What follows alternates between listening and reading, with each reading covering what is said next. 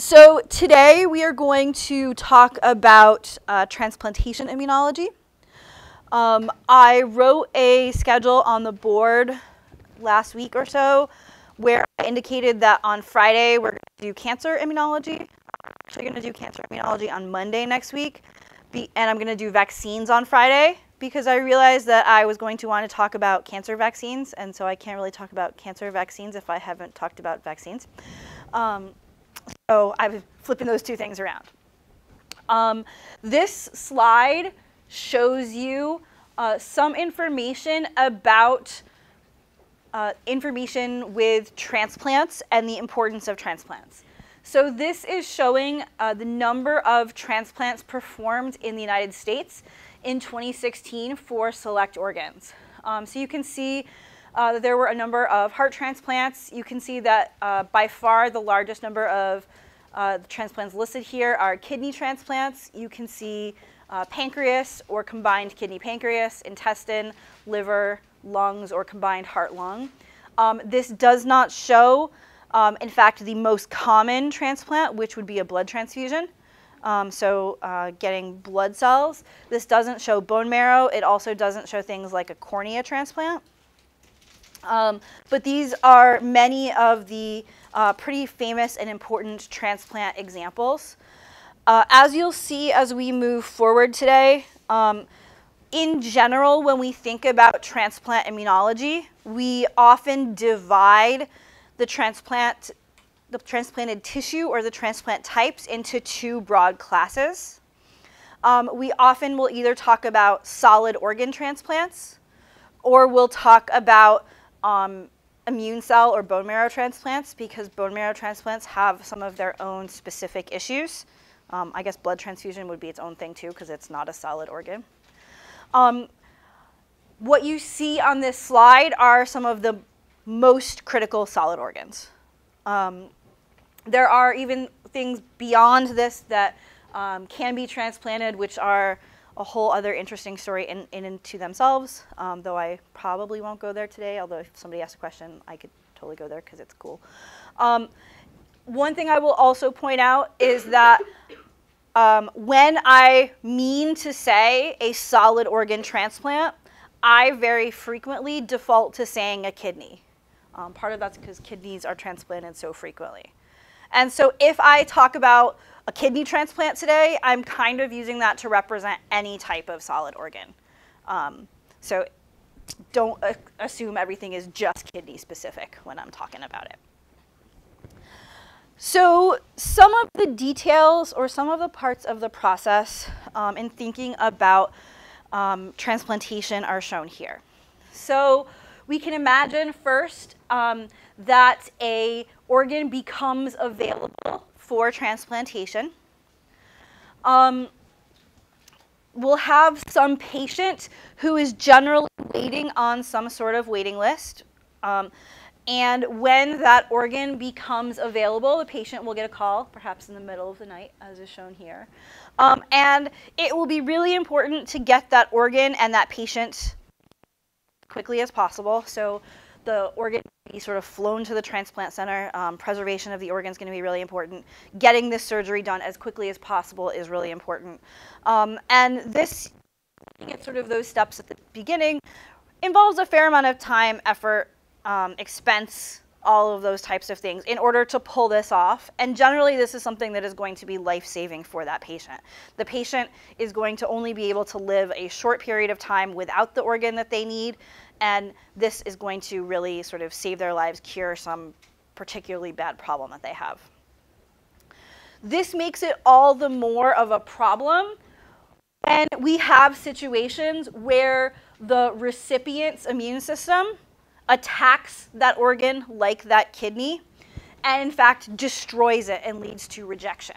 Um, and so this is a rejected kidney um, that has been destroyed by the immune system. And so you can imagine how problematic it is for all parties involved to sort of go through all of this to try to save a patient's life and then to simply have that kidney get rejected. Uh, and so understanding the immune responses that are part of this and ways that we might be able to intervene um, are pretty important. Um, so immunologists in the past um, studied uh, transplants for a while. Um, they first were doing this with a lot of skin grafts. And they showed that if they had a mouse, say of strain B, and gave that mouse a non-matching skin graft, a graft from strain A, that mouse would reject the transplant. So you can see the rejection process happening here. Um, the, and if that mouse were to then get a second skin graft from that same strain, a second strain A skin graft, um, rejection would again happen. And it would happen now in a much quicker period of time, like six days, instead of the 14 days that they saw before. Um, and that indicated to them that there was an immune system component to this process. This looked like a primary and then a secondary type of response. You were getting some sort of memory and some sort of improved immune response the second time through. Um, they also realized that if they took T cells from the spleen of this mouse that had undergone rejection of this first skin graft and transplanted those spleen T cells um, into a naive mouse and then did a transplant on that mouse, the mouse would also have a faster type of rejection. And so this was indicating that perhaps this was T cell mediated um, with this process. And again, it suggested that adaptive immunity was playing a key role in transplant rejection. And so that's one of the way, many reasons why immunologists sort of got into this process.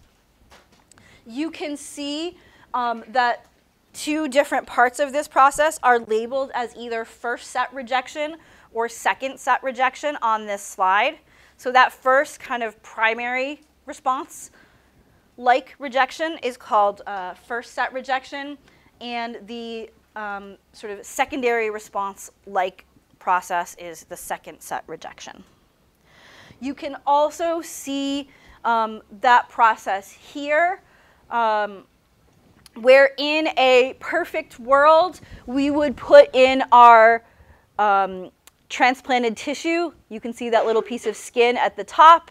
Ideally, blood vessels are going to grow in. We're going to have repair, so we get that tissue sort of to heal back into place. We're going to have all of the vessels and cells come in, and we're sort of going to get this nice healing process. But within first set rejection, um, by about seven to 10 days, uh, after the um, transplant has happened, you'll see a whole lot of immune cells infiltrating that will start to actually kill that transplanted tissue, and you see that happening much faster in second set rejection.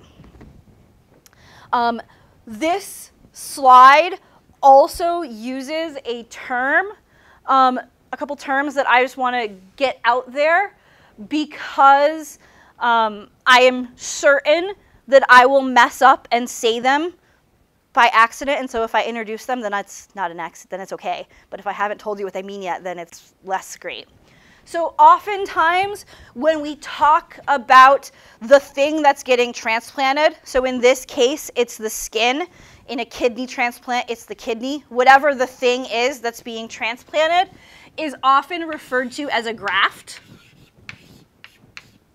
So if I mention the graft, that means the thing that's getting um, transplanted. Um, immunologists often um, will divide those grafts into a few with a few different types with different prefixes. And these prefixes actually can go on a bunch of different things, so we can come up with a bunch of different words with these prefixes. Happily, they pretty much always mean the same thing. So we can talk about something that might be an autograft. And in fact, it, this slide uses the word autograft. Um, there are also things that are known as allografts. Um, and there are further things that are known as xenografts. Um, an autograft is a graft between genetically identical individuals. That's pretty rare And so usually we, when we think about an autograft, we actually think about when you are giving a transplant to yourself. Um, so for example, if you had blood taken and saved, and then you got in an accident and got your own blood back, that would be an autograft you'd be getting products from yourself. There are also situations where you'll have skin from one part of your body move to another part or things like that. All of those are autografts.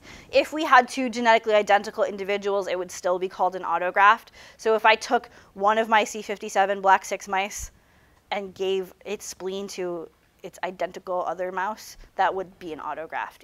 Um, so usually auto in immunology means self, just like autoimmunity allo, like allograft, um, and we can sometimes you'll hear the word auto transplantation, where we're transplanting to ourselves to ourselves. Auto transplantation isn't used as much as the other ones are. Um, we can also have an allograft, where we are thinking about allo transplantation. Um, that means that we are doing a transplant between two members of the same species. So that so if one of you were to give a kidney to another of you, that would be an allograft. That would be allotransplantation. Sometimes when people talk about transplantation immunology, they in general talk about sort of allo responses, and sort of the, the term allo comes up a lot. Um, I will mention a little bit at the end about xenografts and xenotransplantation. That is when you see transplantation from a different species. So that's when you're getting a transplant from um, a completely foreign species.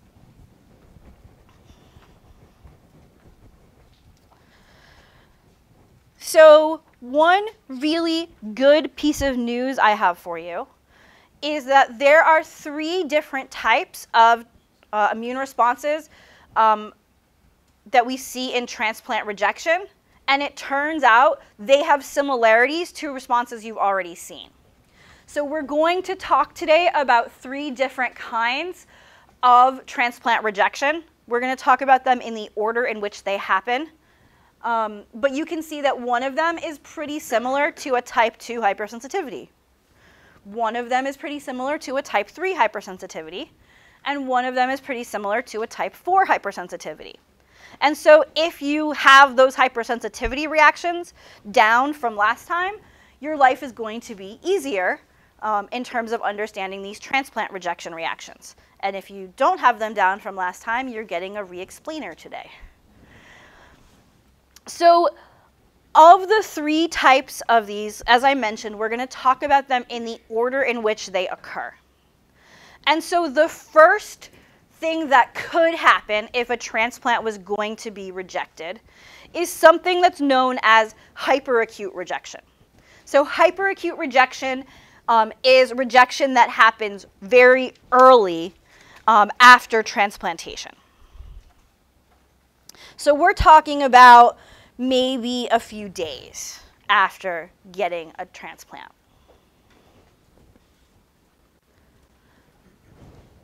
The mechanism of hyperacute rejection is um, that you are seeing rejection as a result of pre-existing antibodies. So we don't really need to do a ton of work to start up a B cell response and make a T cell response and all of that business. We've got these antibodies pre-existing, so we don't have to wait too long for this rejection to happen. So our um, patients will have antibodies in their body. When we put in the new kidney, those antibodies will start circulating through the kidney when the blood vessels go start to be connected. Those antibodies will bind to cell surface antigens that are on the walls of the kidney. Um, and you will start to see complements and other types of inflammatory responses in the wall or in the vessel walls in the kidney. And then you will actually see destruction of the blood vessels in the kidney. So then the kidney will not be able to live because it will not be getting um, nutrients and oxygen and all that good stuff. Um, and so this is all because there were pre-existing antibodies um, to the other person, to the donor. Um, in our recipient. You can see that same process happening here, um, clearly not to scale. Or this person has some very large antibodies. so this person um, has pre-existing antibodies. Um, it gets the, a transplanted kidney. Those pre-existing antibodies will bind to the wall of the vessels in that kidney. Um, we'll start to see an inflammatory response. We'll actually block the blood vessels. We'll maybe see some complement destruction of those blood vessels. And eventually the kidney will die because it's not going to be getting um, oxygenation and uh, blood flow. Um, so in terms of sort of the big picture of immunology here, it's kind of easy to understand. But the question that might come up here is, okay, but why do I have pre-existing antibodies to other people? How in the world do I have a pre-existing antibody to someone else to lead to this process? There is generally one particular antigen that causes a problem for hyperacute rejection. And so there's one particular antigen that you would have an antibody against um, in terms of other people. And that antigen is the uh, blood group antigen. So um, you can see that red blood cells from a person who, from a donor who is O, have no terminal carbohydrates on their surface. With A, they have one type. With B, they have another type. With AB, they have both. As a result, in this person who has type O blood, that person makes antibodies against the A antigen and the B antigen. Those B cells that make those antibodies are not deleted because these are not self-antigens, and so those antibodies are present. In the person who has type A, um, the type A antibodies are gone. The B cells are deleted because it's a self-antigen, but B is present. With type B, we've got anti-A antibodies. Um, with type AB, we've got anti, we don't have any of these antibodies. And so you can see sort of this whole process here. Um, and this is a big uh, way that we sort of even determine who can be a donor or recipient for blood transfusions. So if you are um, a recipient of type O, you don't really care what antibodies. you, you aren't going to sort of, it's not a big deal to you. You um, can, uh, sorry, A, sorry, ugh, O can donate to anybody else. It doesn't have an antigen on its surface, so it's not, those cells are not going to get killed. A type A person can donate to a type A person or a type AB person. Neither of those people have anti-A antibodies.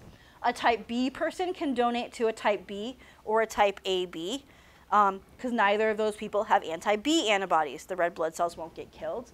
A type AB person can only donate to a type AB person because this person has neither kind of antibody. These cells won't get killed um, you can see that the AB person is sort of the universal recipient. They can receive from anybody, lucky them.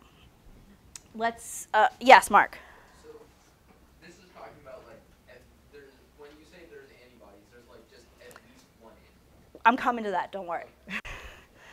um, so the one thing that I want to say before addressing Mark's question is um, this is actually the um, list that shows um, compatibility of blood donors and recipients when you add in RH plus and minus.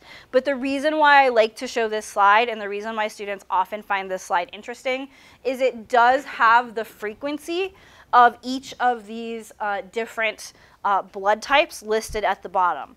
Um, and so if you know your blood type, this will tell you whether your blood type is particularly common or particularly rare. Um, so I'm B positive um, which is like 8.5% of other people. Um, and so you can see sort of those differences here. Yep. Um, I don't remember off the top of my head what the where it is. Um, that's a good question. Um, so Mark asked another question here. Mark said, well, this, this means that you know, that, that type O person who has anti-A and anti-B antibodies, this means they have like one B cell. You know, they have a little bit of those antibodies. We haven't like primed a response, right? Is sort of what Mark was asking. Um, and that makes sense because you say, well, you, the, it should only, we should have just had, how did they prime a response to A antigen and B antigen? But if that were the case, then you could do a transplant at least the first time through, and you wouldn't have a problem. And that's not the case. And so you have, it turns out, that O person doesn't have one B cell and doesn't have a teensy bit of anti-A and anti-B antibodies. They actually have a lot, a, enough that it's going to preclude this uh, sort of transfusion. And so there is sort of this question of, well, what's up with that? How did these cells get primed? The answer is that these antigens um, are carbohydrates that are found very commonly on the surface of many different bacteria, particularly bacteria in the intestine. And so um, the B cells that respond to these antigens are in fact getting primed and we are making large amounts of antibodies against either the A or the B antigen. Um, it's just that here that anti-B, or sorry, the anti-A B cell was deleted because it was a self-antigen. But we are still actually priming up a decent response to this. So it's so in fact it's not one B cell, it's a whole bunch. Um, that was something that I remember confused me the first time I learned about this stuff as well. Yep. Uh, no, these are commensals. Yep.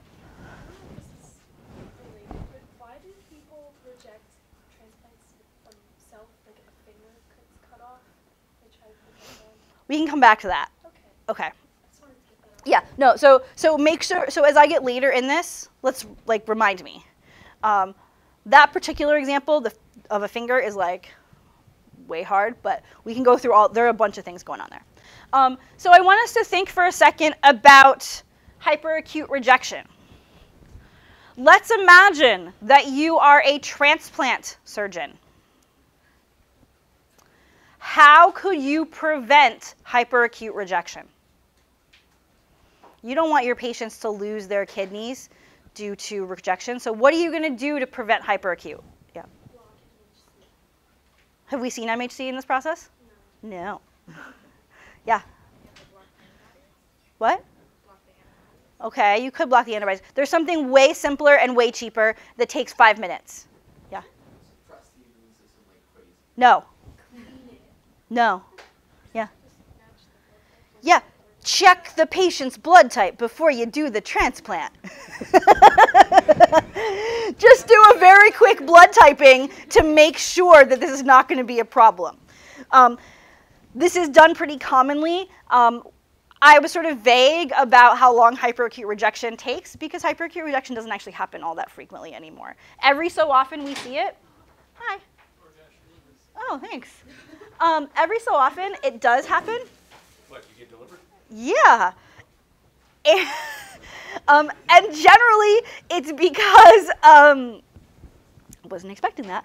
Uh, generally, it's because um, they forgot to do uh, blood typing before they did the transplant, and generally the hospital gets sued a lot. a lot, a lot, a lot of, it's a, and it's a big scandal in the news. Um, so this one's actually pretty easy to avoid, and for the most part, we avoid this. Um, if for some reason you happened to have some other rare pre-existing antibody, again, I don't know exactly why you'd have it, but if for some reason you did, you could have hyperacute rejection, but this is a pretty rare thing at this point. Um, so our next type of rejection, and the one that we're really going to spend the most of our time talking about, is the one that kind of happens in the medium term um, which is known as acute rejection. Um, acute rejection, you can see here, is listed as being somewhat similar to a type 4 hypersensitivity response. And if you remember with our type 4 hypersensitivity response, that hypersensitivity response was unique compared to all of the other hypersensitivity responses because that hypersensitivity response involved T cells and all the other ones were antibody based. So that should tell you a bit about how acute rejection works. Um, so in acute rejection, um, our patient will um, get a kidney um, and eventually there will be T cells that migrate to that kidney and start to destroy that kidney graft. Particularly, you can imagine CD8 T cells killing some of the cells of the kidney graft. Um, but you can see any number of things. And so here you can actually see T cells infiltrating into the kidney and starting to destroy that kidney as a part of acute rejection. Yep. So the example with the mouse, Mhm. graft, would that be this? It was probably acute rejection, yes. Um, so just like with what you saw in um, the type 4 hypersensitivity response, there are a couple of different parts to this process. Um, one of them is something known as the sensitization phase, where we first have to activate the T cells in order to um, get those T cells um, turned on and making a response. So we're going to have to get antigen from the kidney going to um, the lymph node and turning on T cells. After that, those T cells will then leave the lymph node, travel back to the kidney, and start to kill target cells, make cytokines to lead to inflammation, and eventually lead to the rejection of that graft. Based on what you're seeing here, how long do you think it takes for acute rejection to start happening? What, what sort of time frame do you think we're talking about here? Yes, longer. How much longer? 12 years? Hmm? How long? Hmm? Yeah, two, three weeks, a month. You know, you don't really start to see, and you see an adaptive response peaking at a couple weeks. It might take a little while for that kidney to get totally destroyed, but we're kind of talking in that, you know, two weeks to a month phase. So the patient, you know, goes home, thinks they're good, and then starts to see problems later on. Um, we can also think a little bit about um, what's going on with um, the antigen in this case.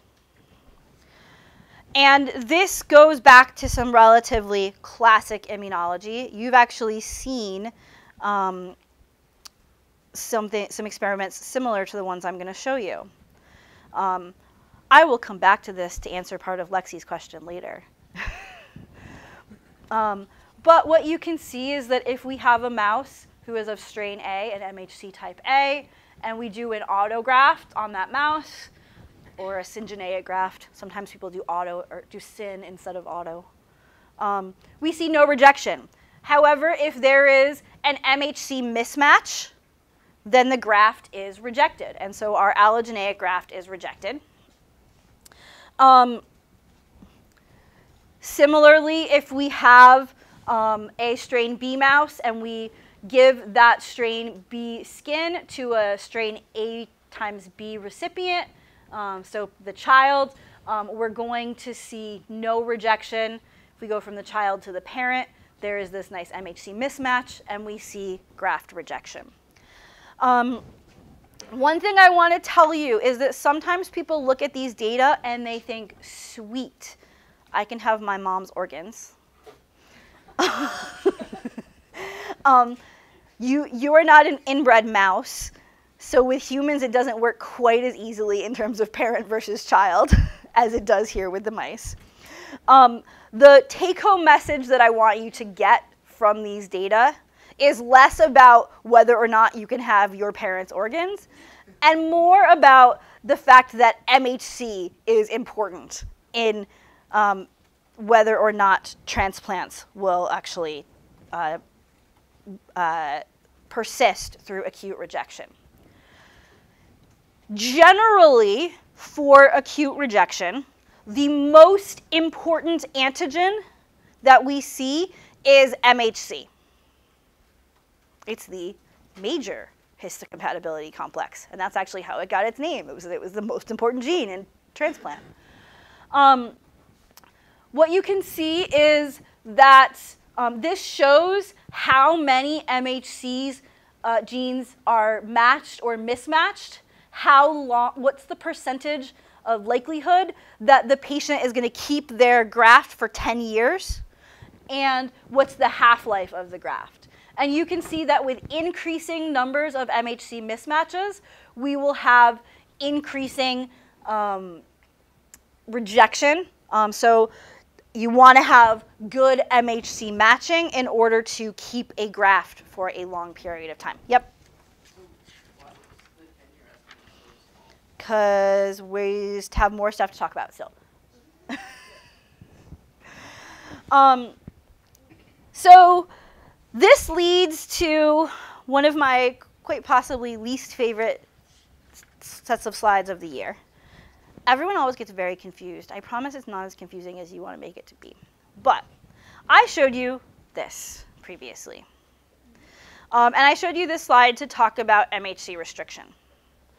I told you that in order for a T cell to make a response, that T cell needs to um, have a good match with MHC plus peptide and be able to see both. If either the MHC or the peptide does not match, the T cell doesn't recognize, there is no response. Um, and I told you this. Um, I told you about Zinkernagel and Doherty's experiments where they were using um, mice infected with a virus of different strains and looking to see whether the cells killed or did not kill. And all the data and everything I told you about that experiment is correct. Um, but I also just told you that in transplantation, if the MHC is mismatched, T cells kill the graft in acute rejection. So I just said if the MHC doesn't match, the T cells kill. But here it says T cells don't kill. And so what I have to tell you now is I kind of oversimplified some MHC things before. Um, here you can see the view from the T cell's perspective. So here you can imagine you are the T cell looking at the antigen presenting cell. You can see the MHC class 1 heavy chain in white, beta 2M's way in the back in blue, and you can see the peptide in orange. Here you can see class 1. We've got the alpha and beta chains in different colors, in the white and the blue. We can see our peptide in orange. Now, if you were a T cell, the, and this is sort of a, a structural model that shows you where all the amino acids are. So the, the space-filled structure model. This is what it actually looks like, what the surface would be looking like that you'd be looking down on. If you were a T cell, all of those different parts would not be color-coded. You would not look at an amino acid and be like, oh, this is a peptide amino acid, or oh, this is an MHC amino acid. To you, it would be one contiguous biochemical surface. Um, and so there are, and so we can see situations like sort of the classic one that I told you about before, where we have self MHC that has a particular shape. It has a pocket that can bind to a peptide.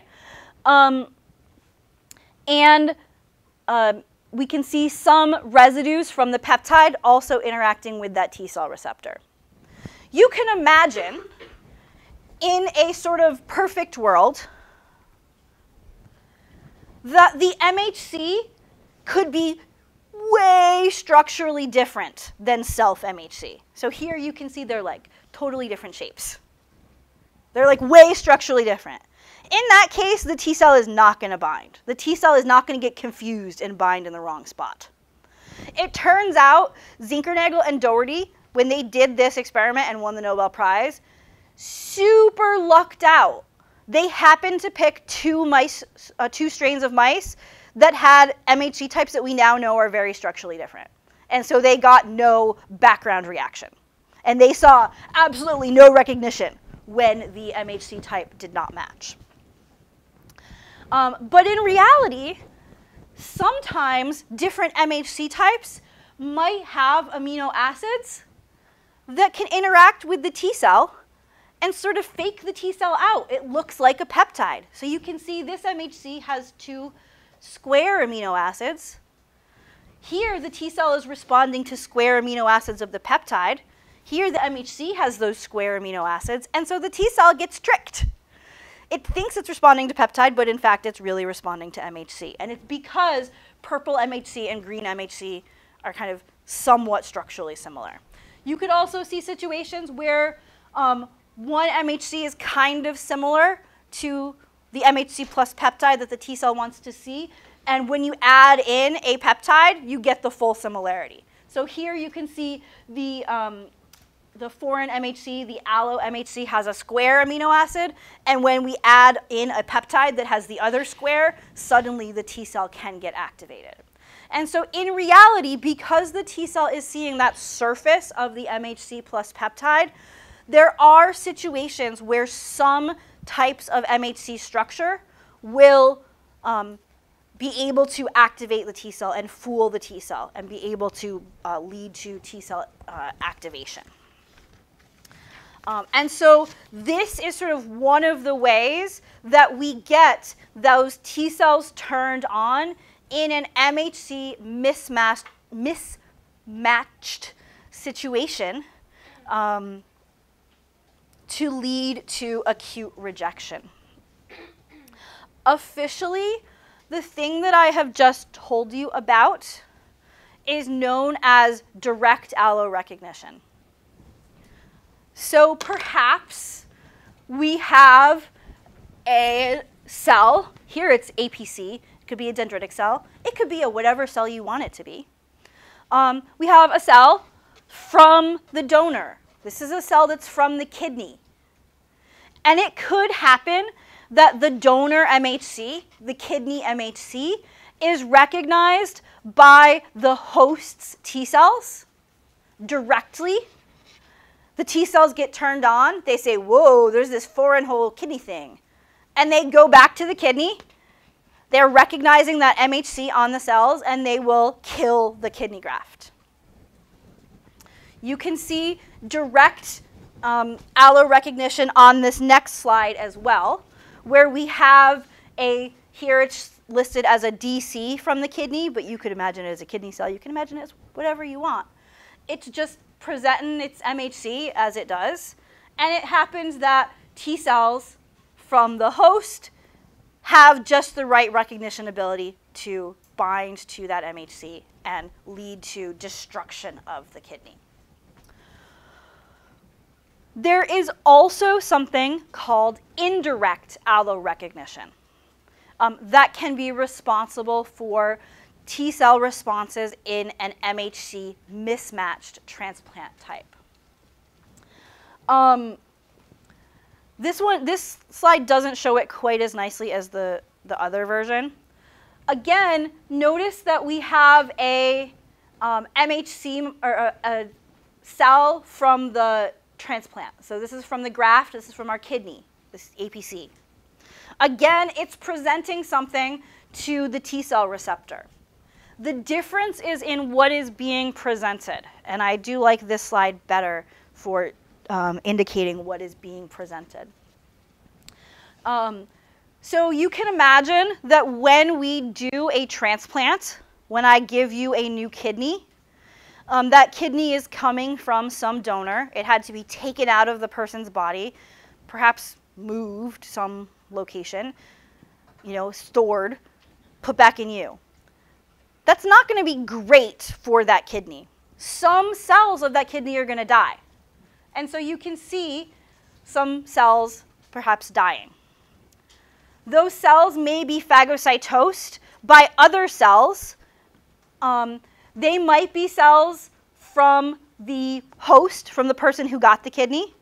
So we've got dead kidney cells. Notice the kidney cells are, are yellow here, and they're dead, and they have yellow MHCs. When those cells get phagocytosed, um, their uh, MHC molecules are proteins. And as such, they get degraded, as do every other protein from that dead cell. And those MHCs get degraded and become peptides. You can see here they're yellow peptides. They were yellow proteins because they came from the yellow cell. This cell's orange, so it's not the same ty- MHC type. We get these peptides made from this foreign MHC. They could be presented on the recipient's MHC and presented to a T cell, and they can be like, look at this foreign protein I found. Um, and thus, we can have T cells be activated that way. So instead of the recipient's T cells directly seeing the MHC that's like sort of unprocessed on the surface of the donor or the, the graft cells, we can actually see um, presentation of that foreign MHC on the host MHC um, and activation of T cells that way. That process is known as indirect allorecognition. So, um, you can see a, a, couple of ways that um, there are some issues with this process. So there are still questions that we can ask at this point. Um, and one of the questions is why transplants are rejected even with zero MHC mismatches. Um, there are a couple of reasons here. I'm going to go through the reason that I kind of have the slides for, um, and then I'll come back to address the other situation um, that Lexi brought up. So let's imagine that Mark and Vade have identical MHC. Okay? So we're going to imagine that for a second. They have identical MHC. And let's imagine that uh, Vade is going to give Mark a kidney. Okay? Because Vade's a nice guy. um, there is a reason why Vade's kidney could be rejected in Mark. So again, we're going to imagine they have identical MHCs. Can you envision a reason why Vade's kidney might be rejected in Mark?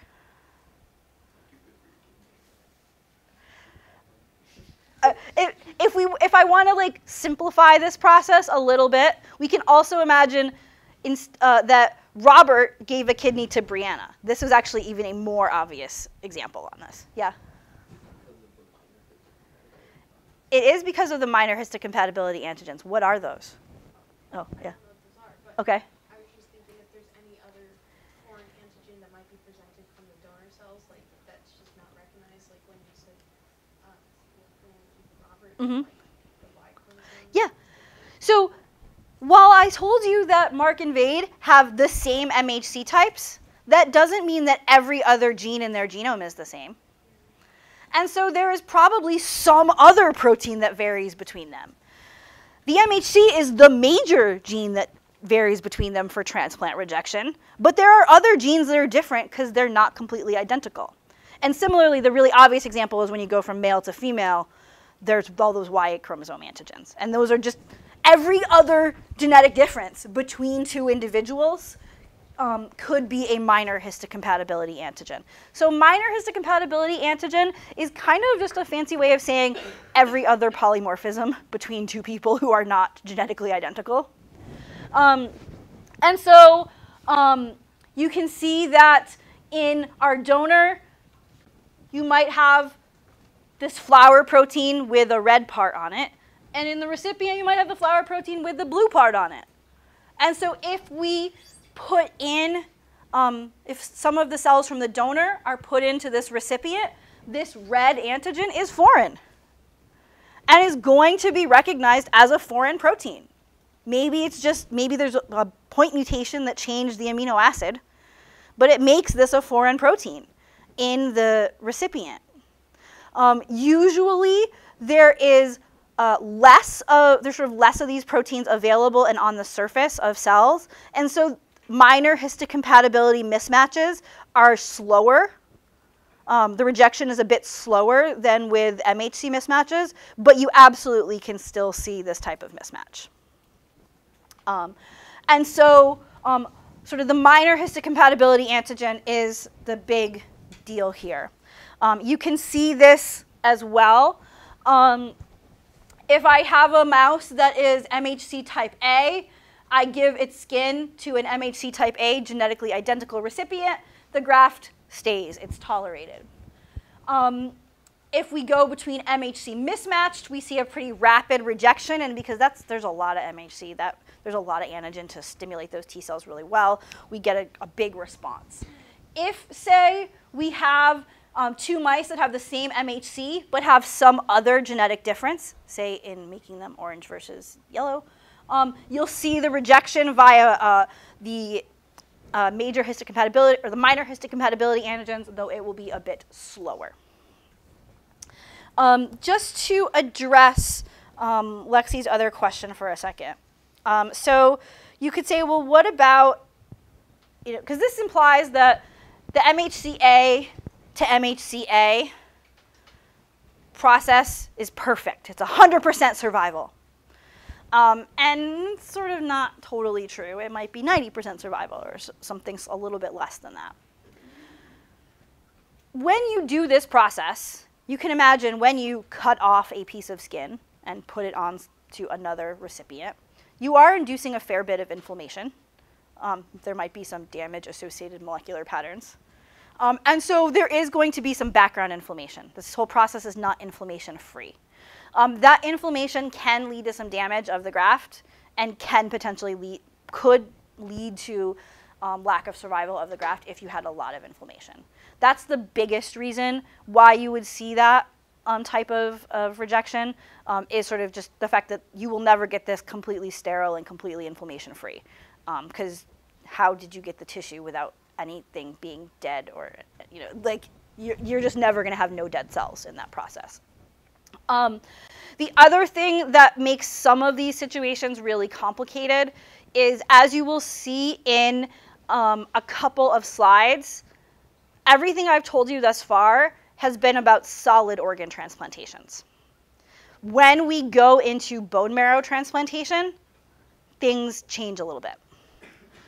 If you were to do, um, I actually once had an immunology student who was really interested in prosthetics and she wrote a whole paper about hand transplants.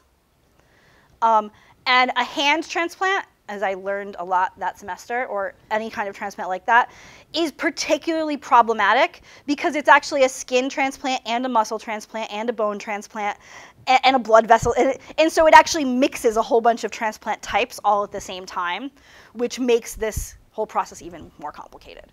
Um, so in general, in terms of the auto transplant, there's the inflammation issue in a finger being cut off. There's the fact that you're dealing with multiple tissue types as well.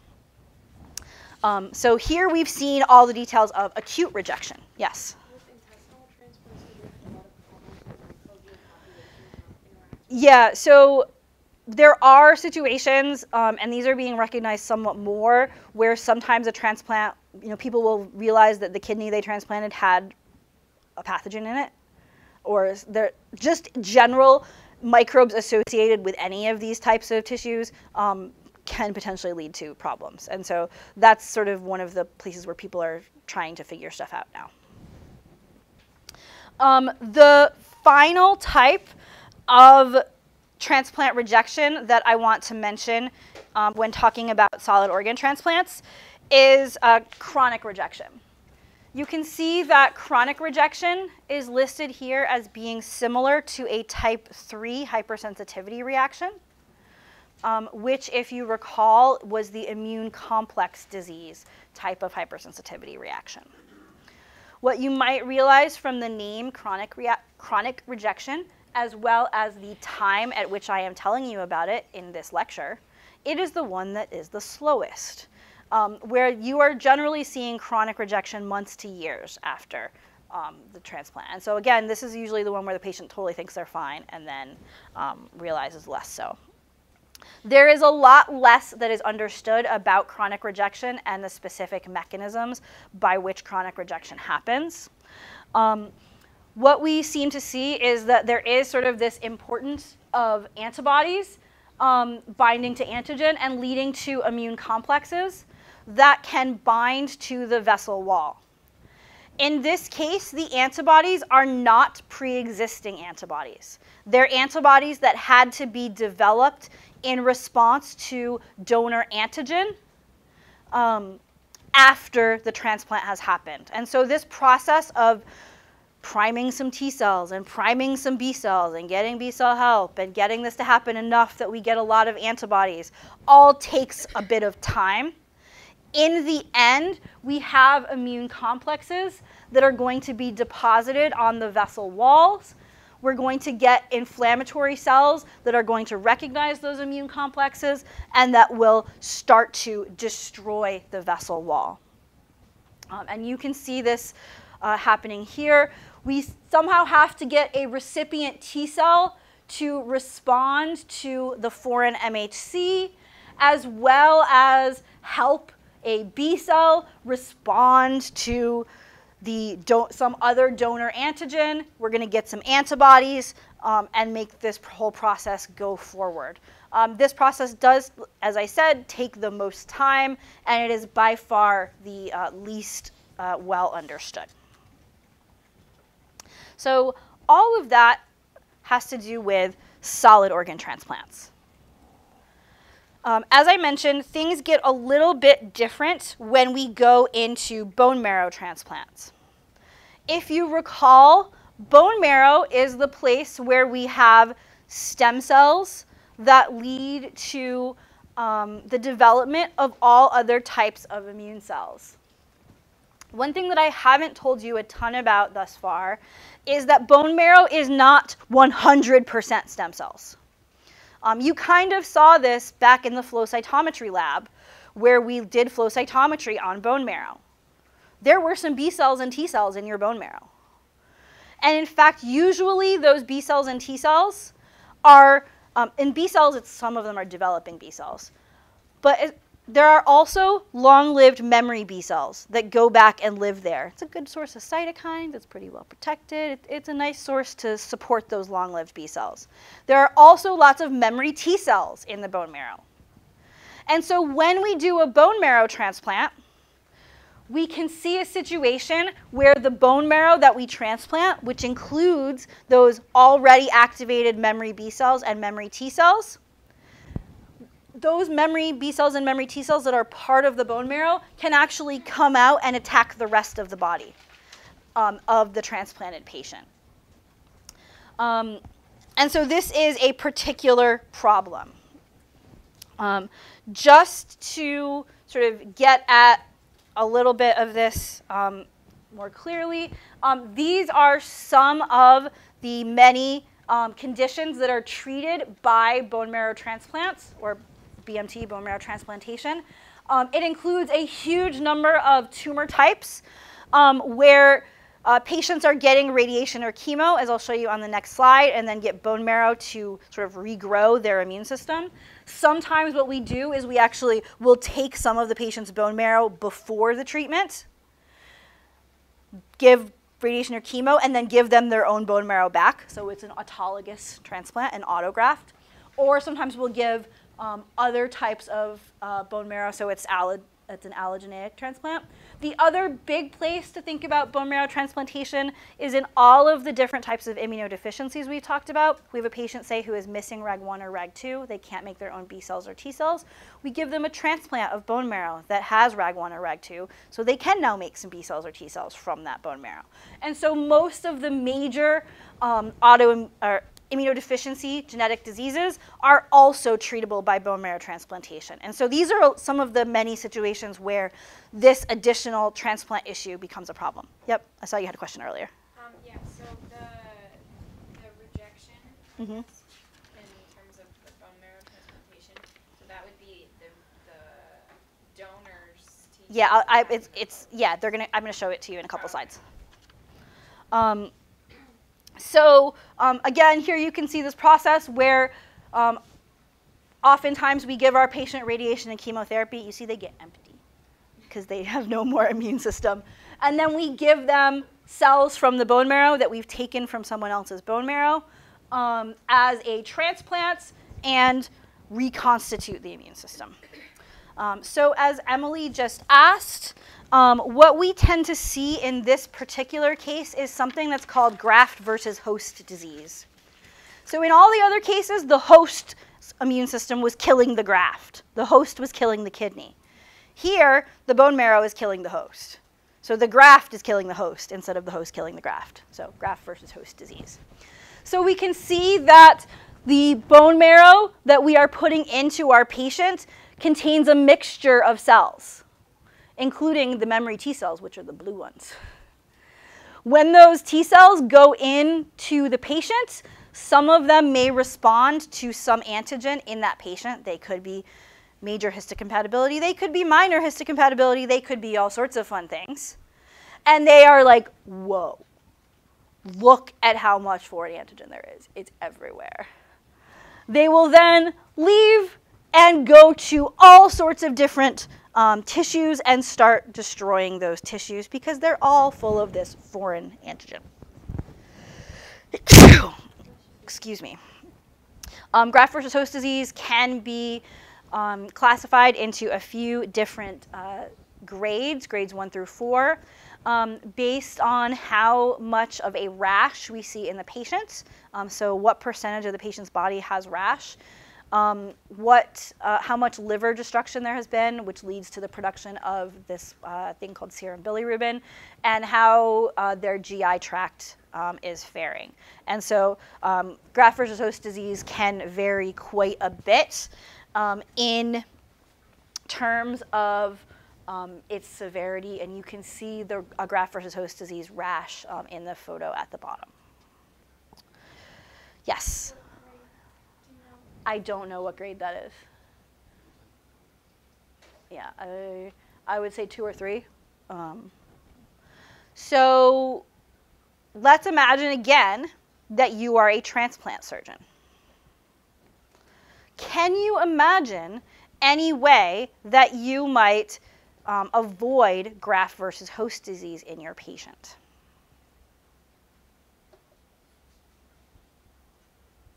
Yeah, Vanessa.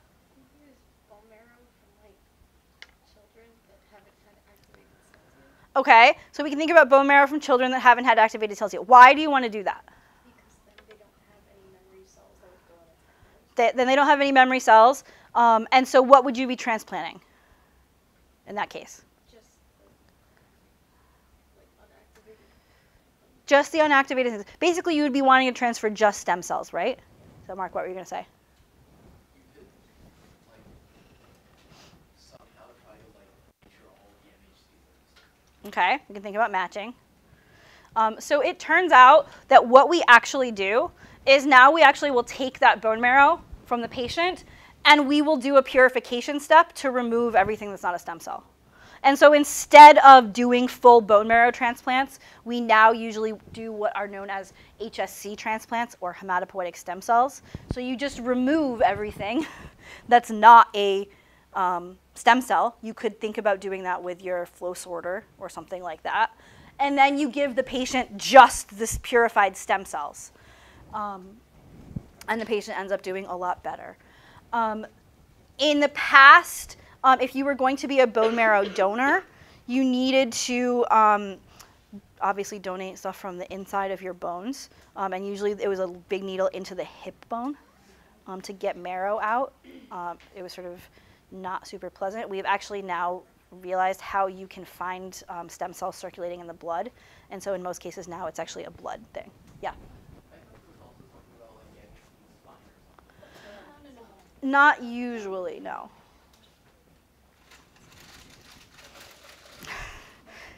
Um, so we can also think a little bit about MHC matching um, when we do bone marrow transplants. Um, and MHC matching is a sort of a particular issue um, because realize that we are putting in stem cells um, that still are going to have to go through the thymus of the patient in order to develop. And so let's imagine first we have a transplant patient where the um, MHC types are matching um, with their own. That means those T cells are going to match with the thymus. We're going to get nice normal T cell development. Eventually, our patient will have T cells, and our patient will live happily ever after. And so, if this patient ever gets infected again, it- it's going to have good T cells. Those T cells can kill infections. Everything's going to be great. If, however, you were to give the patient um, completely mismatched bone marrow, when all of those bone marrow cells go to the thymus, none of them are going to find self MHC that they can um, react with. They are all, so you're going to get um, them to, uh, some to leave um, the um, thymus. So you'll be like, all right, this is cool. Yay. But they are going to respond to the MHC type of the thymus. All of the dendritic cells and innate immune cells from this patient are going to have the donor's MHC type because those bone marrow cells also make all of your dendritic cells and all of your macrophages. And so the T cells are never going to respond to the dendritic cells in that patient. There's going to be a complete mismatch because the T cells are going to respond to the MHC of the thymus, then dendritic cells are going to have a different MHC type, and so you're not going to see a match.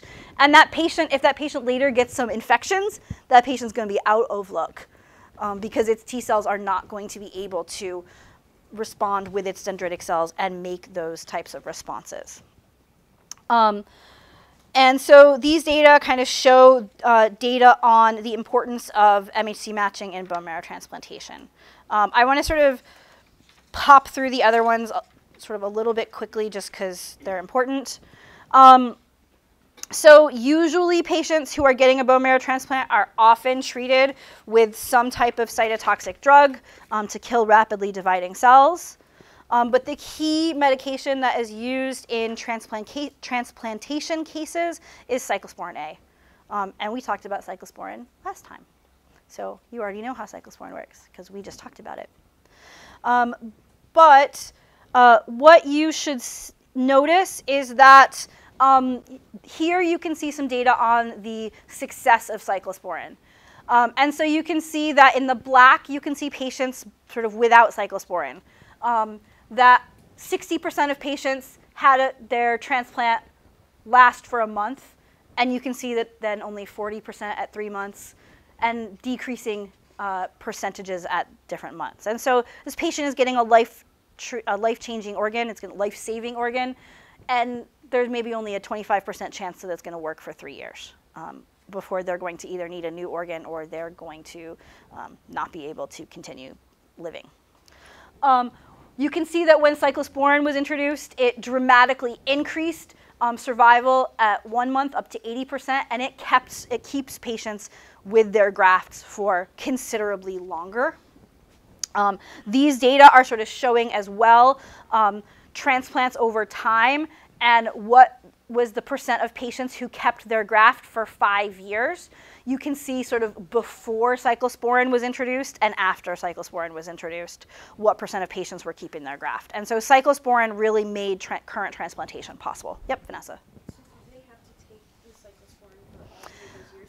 No, they're basically taking it for life.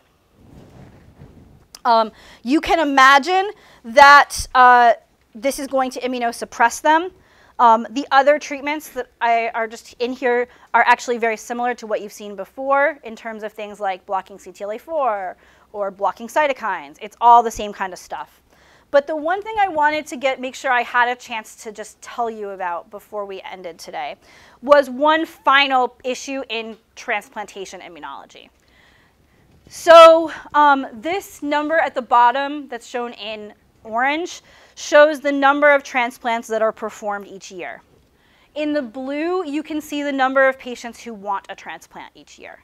And you can see that there is a big mismatch. There are many more patients who want transplants than there are organs available. And so this shows it to you in numbers in terms of how many patients were waiting for different organs um, over time. And so we have this massive shortage of organs. Um, there are two different things that we can kind of think about um, with that. Um, so in the United States, um, we have what's known as an opt-in policy for organ donation. So you have to say, I would like to be an organ donor um, for your organs to be donated. If you don't say that, your organs will not be donated. Um, in other countries, there is an opt-out policy where your organs are automatically donated unless you say you want to be an organ donor. um, what you can see is that in countries where there's opt-in, it's a pretty low percentage of people end up actually like doing the paperwork and being donors. Where it's an opt-out, the vast majority are donors, and so there is much less of a problem in those countries. And part of this is just like a laziness thing and a knowing how to sign up kind of thing. Um, but as a result, immunologists have been also working on ways that they might be able to find other sources for organs. Um, and people have started to think about xenotransplantation or transplantation of organs from other animals. The animal that is most commonly used is known as a miniature swine, um, which you can see here. Um, they're not very miniature, they're actually huge, but it turns out on a volume basis, their organs are the same, time, same size as ours. You can imagine you would not want a mouse kidney, having seen a mouse kidney. Um, and people are actually genetically engineering um, these pigs in order to have them have human MHC and a number of other types of factors so that they can be used as human organ transplants. Um, there are also other types of sort of mechanical devices, um, lab grown organs, all sorts of things like that, that people are trying to do to deal with these organ shortages. But they need to know an awful lot about the, the immunology of transplant rejection in order to make this process happen. Um, and I will see you guys in lab tomorrow.